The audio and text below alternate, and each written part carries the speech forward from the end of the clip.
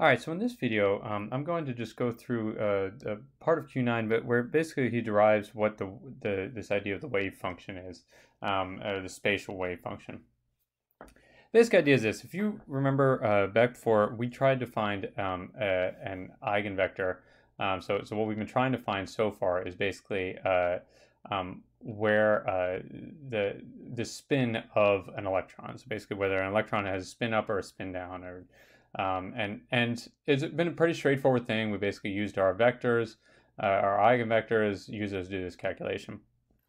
Um, uh, now, if you remember, there are two for any, for, for a spin, for a spin um, uh, value, uh, for a spin uh, wave function, for a spin uh, eigenfunction, there are two values, right? There's psi 1, psi 2.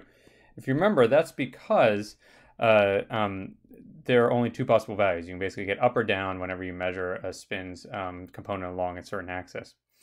Um, if you think about actually trying to find where something is, uh, so when we're trying to find something where something is, uh, we have two problems. The first one is that um, it's actually infinite in all directions. So if we're just dealing with one dimension, uh, it basically can exist from one end of the universe to the other end of the universe. Um, quantum mechanics doesn't even know that there is an end to the universe, and so it basically can exist anywhere along the line. Uh, and so it's it's infinite in that way. And so um, and the other problem is that it's it's also infinite in that um, between let's say the one end of the universe and the other end of the universe there you, we can separate it into as small a point as we possibly want to. So we can divide it up into an infinite number of different pieces. And so it's the it turns out that there's actually an infinite number of ways of finding or places to find something in a line uh, in two different ways. And so if we're actually trying to um, to construct an eigenvector for something that just exists at one point um, we would have to uh, we'd have to basically set um, this, you know, let's say the x eigenvector would just have to equal uh, zeros everywhere, and then have a one at the one place in space that the thing actually existed, and then zeros everywhere else, and that would be your eigenvector. And your next one, you would have another one, which would be you know x plus one, uh, basically the the the one one state over, um, and that would have the exact same thing um, 0, 0, 0, 0, 0, and then there'd be a 1 down here, 0, 0, 0. All right, and you just do that, and you have an infinite number of these things, and you're never going to actually be able to do this, right? So this obviously is, we're never going to be able to actually write this.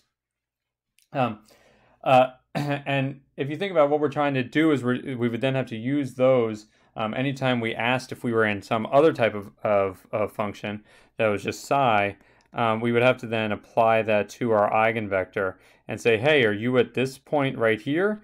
Um, and again, this would be an infinite number of, uh, of values that were zero except for the one place where it was actually uh, equal to one.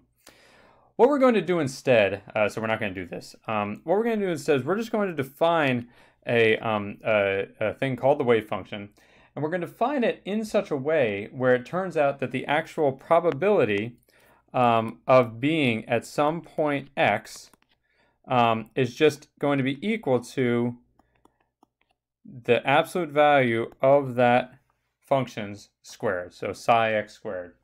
Um, and so that way we can just find um, the, the, we can just use this function, we can define these functions, and then the probability of finding it at that specific place will just be that, that psi x squared. And this is basically, there's a, uh, Thomas Moore goes through a, a, fair amount of math in the first two pages of this chapter, but that's the, the main point is that um, we're going to define this function uh, where that wave function actually tells us the probability of finding it. If we take the square of it, it tells the probability of finding something at that point in x. Now it turns out that the actual probability of finding anything at a specific point in x is basically zero because that point again is infinitely narrow. And so what we're going to do instead is we're going to take the number line and we're going to actually just ask, okay, what's the probability of finding something between two points? And then, uh, then that's actually something that we can actually calculate.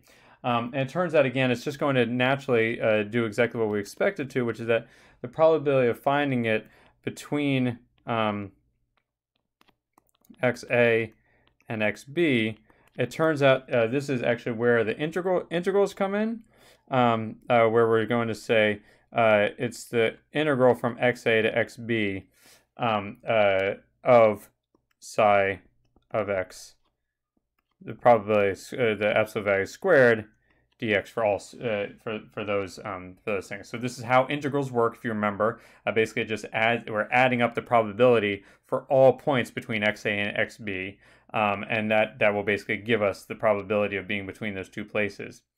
Now, there's one problem if you'll see is that um, what if we make the limits so that this goes from minus infinity and this goes to infinity.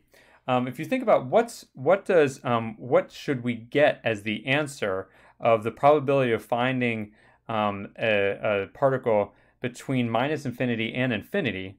Well, the answer is that the probability of finding it between minus infinity and infinity is one. It has to have a 100% probability of being found somewhere. Um, it has to exist somewhere. And so what we do is, um, it turns out that, that, to, to make sure that that's true, we divide this by uh, the probability from uh, the, the psi of x, the integral from minus infinity to infinity. And that ensures that, um, that this probability is what's called normalized, meaning that it ensures that we get a value of 1, because if you put minus infinity here and plus infinity here, you just get the same integral over each other. And so you just get the probability of finding it somewhere as 1. And so that's just a really quick, you know, i have taken like five pages of math that Thomas Moore does, but that's basically a really quick uh, understanding as to what, how we're basically going to find the probability of things and how we're going to construct uh, an actual wave function that tells us the probability of finding something in some place. And this is important because I, I, don't know if you've noticed this yet, but we actually have never talked about whether or not we can even find an electron, much less, uh, you know, we have to find where it is before we do any experiments on it. And so this will help us actually calculate uh, those types of things. Uh, so that's that one. I'm going to go ahead and do another uh, video later, uh, which is going to uh, actually go through a quick, a, a, quick demonstration of how we would do this. so go ahead and check that one out.